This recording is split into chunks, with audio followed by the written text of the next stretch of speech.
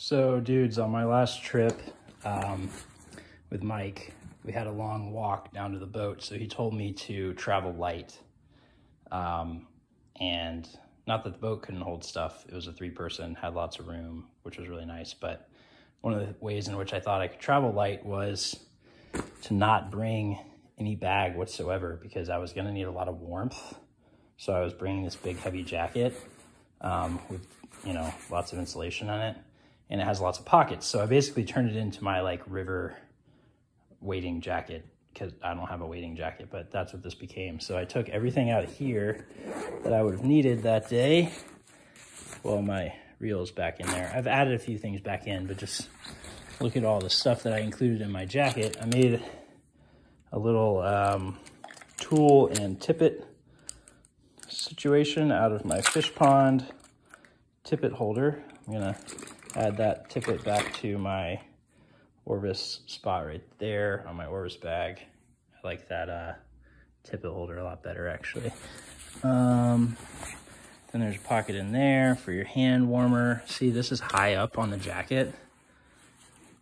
This one, which is nice. So that was pretty clutch. Had my hand warmers or my gloves in there throughout the day. This is just a jacket from REI. Um, nothing left in that one. And there's this outer pocket.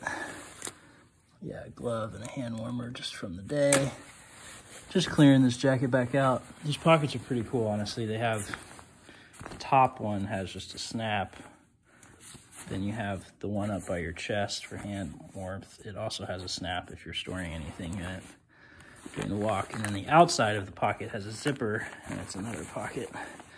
This is where I had my tiny single fly box or my New Zealand wool for my all-wheel drives, which I didn't really end up using. So yeah, putting all this back in, oops, just dropped my tippet thing. Putting all this back in my bag, it was a good idea. If you ever want to leave the uh, bag at home, just stuff stuff in your jacket.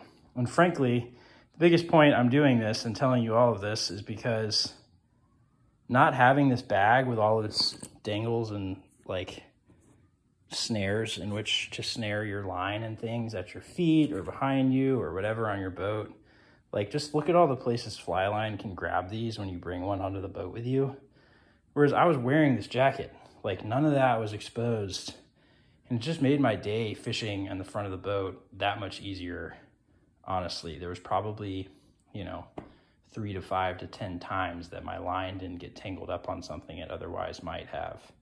Um, so I think I might be doing that some more in the future when fishing out of boats, just trying to minimize tangle opportunities. I mean, literally, when you look at it, it's like, it's insane. Pew, pew, pew, pew, pew. You know,